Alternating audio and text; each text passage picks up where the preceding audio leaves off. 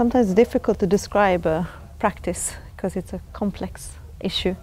Uh, but um, I am interested in um, a lot of my works deal with feminist topics, and then I, when I say topics, is both addressing uh, feminist subjects as well as uh, on a content level, as well as uh, the aesthetics and strategies in themselves. So for me, they go hand in hand. So how you kind of uh, um, and I would say that a lot of my a lot of my works uh, take the like I take a feminist uh, discussion or feminist. Uh, they are quite anchored within the feminist practice.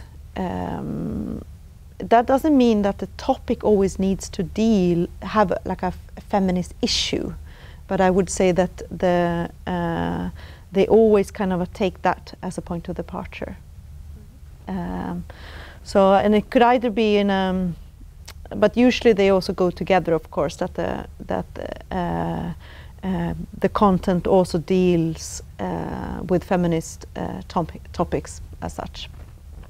And the last few years, it's been like that. Uh, and uh, but I would also say that in this, um, like for example, in the last two years, I've been making a work.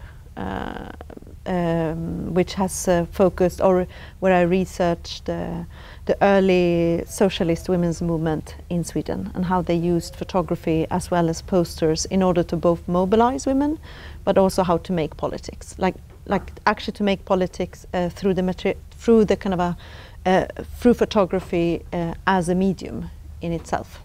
Yeah, so the issue for the workshops uh, was that was exactly to discuss uh, or to at least to touch on what is it that uh, constitutes a political act within filmmaking. Uh, but there it was important to address it both, uh, like political commitment, both on the content level as well as aesthetics.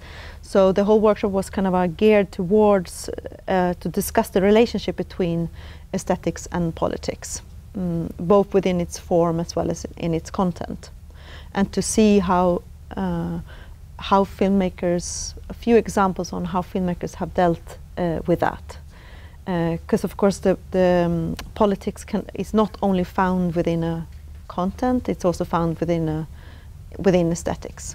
Uh, so it's tried to address that, but also the first day of the workshop were specifically addressing uh, uh, feminist aesthetics and, and, strategies and content, whereas the second, well, kind of the second day we're also addressing uh, other topics, but still always in the relation, like to think of the relationship between aesthetics and politics within filmmaking.